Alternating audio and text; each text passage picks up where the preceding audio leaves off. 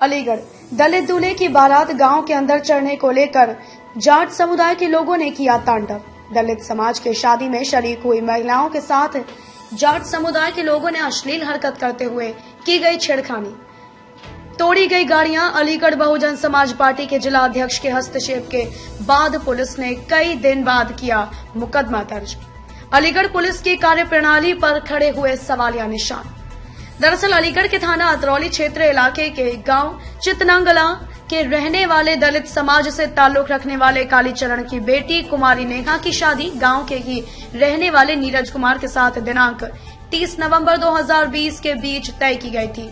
और जब दूल्हा अपने बारातियों के साथ अपनी गाड़ियों में सवार होकर बारात लेकर गाँव पहुँचा तो उसी दौरान देर रात करीब 9 बजे जब गाँव के अंदर दलित समुदाय की बारात गाँव के रास्ते गलियों के अंदर से होकर गुजर रही थी। दूल्हे के घर से 100 मीटर की दूरी पर गाँव के रहने वाले स्वर्ण जाति के जाट समुदाय के 40 से 45 व्यक्तियों ने बारात को अपने घरों के सामने आने पर बारात को रोका गया और बारात को रोककर अन्य रास्ते से ले जाने का दबाव बनाया।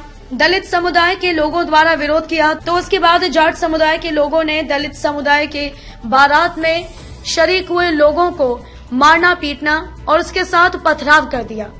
जहाँ बारात में आई हुई महिलाओं के साथ अश्लील हरकतें करने के साथ ही महिलाओं द्वारा छेड़खानी का विरोध करने पर मारपीट की गई।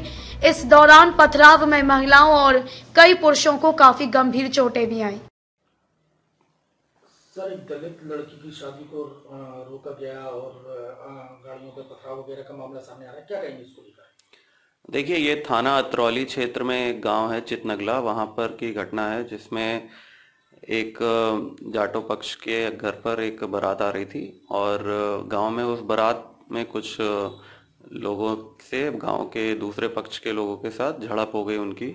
कुछ सी बात को लेकर कहासुनी हो गई और इसके पश्चात दोनों पक्षों में कुछ ईंट ईंट भी चलाए गए और दोनों पक्षों को चोट भी आई है। और इस संबंध में थाने पर इन जो जाटो पक्ष है उनकी तरफ़ से तहरीर दी गई जिसके आधार पर एस सी और अन्य धाराओं में मुकदमा दर्ज किया गया है। और जैसा कि मैंने बताया कि ये ऐसा कोई सुनियोजित नहीं था और ये बारात को लेकर वहीं पर कहा सुनी हो गई इसलिए ऐसी घटना हुई। अब इसमें गिरफ्तारी के प्रयास जारी हैं। कल ही एफआईआर दर्ज हुई है और शीघ्र ही गिरफ्तारियाँ की जाएँगी। टॉप न्यूज़ इंडिया को सब्सक्राइब करें एंड बेल आइकन को प्रेस करें लेटेस्ट न्यूज़ अपडेट के लिए।